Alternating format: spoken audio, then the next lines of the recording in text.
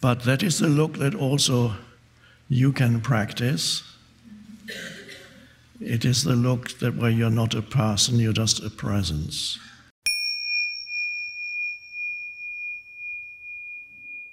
I've been looking at this folder, it has questions in it. People submit lots of questions.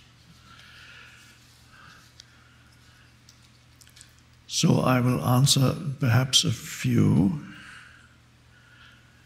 And from tomorrow, uh, we are open, or I am open to receiving questions from you that arise spontaneously or that you've kept at the back of your mind for a long time, wanting to ask, and it still hasn't dissolved.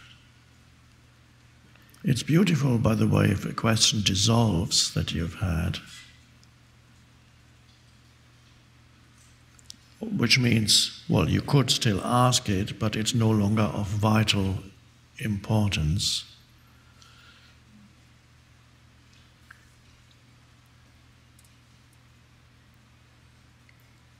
Sometime in the 1930s,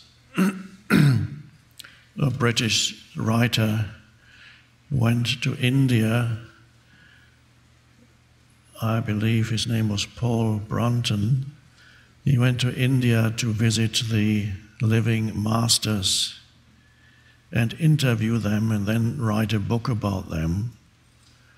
and he did. And one of the masters he visited was Ramana Maharshi, at the time not known in the West at all, and to a limit, only to a limited extent in India. and so when he went into see Ramana Maharshi with his list, a long list of questions for his book, and Ramana Maharshi just looked at him. There are some photos around with Ramana Maharshi looking at you, especially one that's very beautiful. And so he just looks. You can feel when he looks, even on that photo, he's not thinking whatsoever. There's no thought whatsoever in his mind. There's just spaciousness.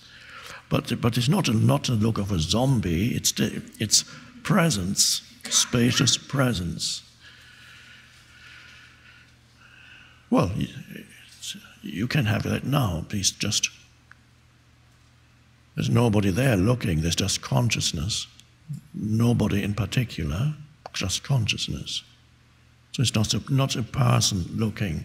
And that's, uh, that's the energy transmission also happens in that way. It cannot happen when a person is looking at you because that means the looking happens through the veil of conditioning that is the person, mental, emotional conditioning. But here the looking is come straight from the depths of consciousness, unconditioned consciousness. So it's just the light looking. So Paul Brunton came to see into Ramana Maharshi's room, and he just Ramana Maharshi just looked at him. And suddenly Paul Brunton had no, no longer any desire to ask his questions. and they sat in silence together for 20 minutes or 30 minutes, I don't remember. And then Paul Brunton thanked him and left the room. That was the interview.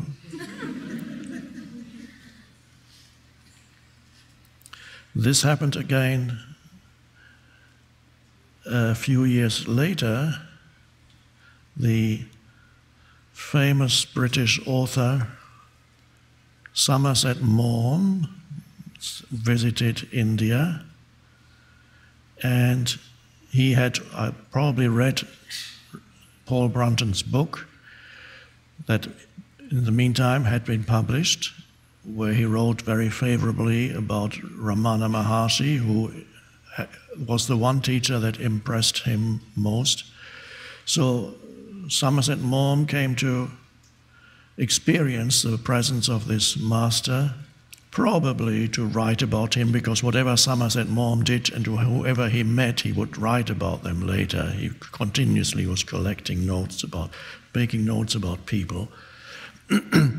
and just before Ramana Maharshi came into his room, it was so hot there, he fainted. and they, not, sorry, not Ramana Maharshi, Somerset Maugham fainted. They carried him into a room to put him on a bed there to uh, regain consciousness. And then they told Ramana Maharshi, there's a famous British author who came to see you, but he fainted. and Ramana Maharshi said, okay, I'll go to where he is. And when uh, Somerset Maugham opened his eyes, there was Ramana Maharshi sitting looking at him.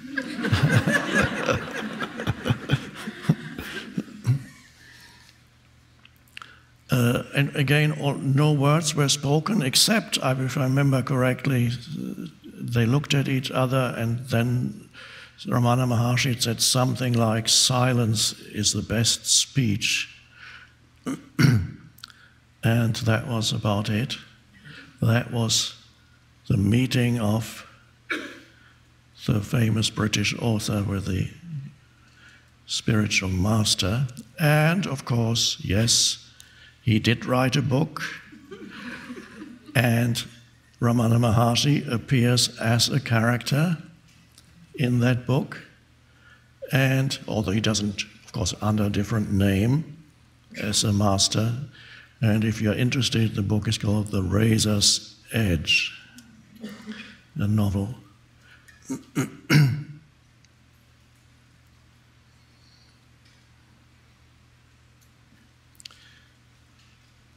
But that is the look that also you can practice. It is the look that where you're not a person, you're just a presence. And when you look at a tree or the sky or a flower or another person, if that's not too difficult, if you look at them and there's no mind activity, just, just an underlying presence as the backdrop, so to speak, to your sense perception, then at that moment, you're not a person looking at the world, you are consciousness looking ultimately at itself, its own creations, because everything is, is, an, is consciousness that has taken a particular form, a temporary form. There's only the one underlying all forms. And in that looking, there's not only the absence of the person, there is also the presence of presence. And that means whatever you are looking at, you sense something that is deeper than the surface appearance of that thing that you are looking at in the case of a plant or a flower, yes, there is the surface beauty of the flower or the plant, but there is also something that the eye cannot see. Uh, there is a beautiful quote that is, I believe, from a book called, is it The Little Prince? Saint Exupéry, is that the author? And there's a quote, it says, What is essential is invisible to the eye. What is essential is invisible to the eye, the eye, this eye. Uh, it does not only re- refer to the visual sense, it also refers to all the other senses. So, what is essential the essence of things, of human beings, of yourself, of a tree, of a dog. The essence of the thing is you cannot see or perceive with the senses. So, if you only perceive through the conditioned mind as the person, then all you ever see or perceive with the other senses is the surface, never the essence of that life form.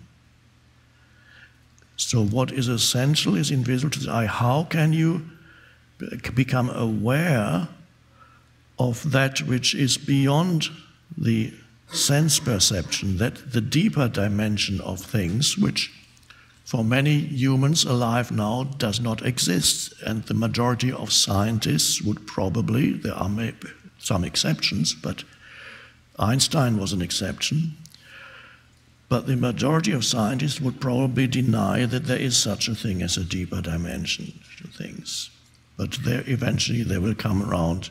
If not this generation, when this generation is dead, the next one will come around. so then you look at uh, something, at a tree, a flower, and that presence of presence through which you're looking recognizes something of itself in that which you're looking at, and that is the dimension of depth. And that is the, where you feel connected, or a better word, where you feel a that sense of oneness with that which you are looking at no longer the separation. When you're looking through the conditioned mind as a person, there's always a sense of separateness. There's, whatever you're looking at is the other. And there's always a sense of otherness. And that sense of otherness is the absence of love in the deepest sense. You cannot love the other in that state of consciousness. You can try, or you might convince yourself for a while that it's working, but it won't last. so, to sense something deeper with that is within, that is the essence of that life form, that is, that adds a depth to all your perceptions. It's no longer a surface reality. Everything has a depth to it, and that depth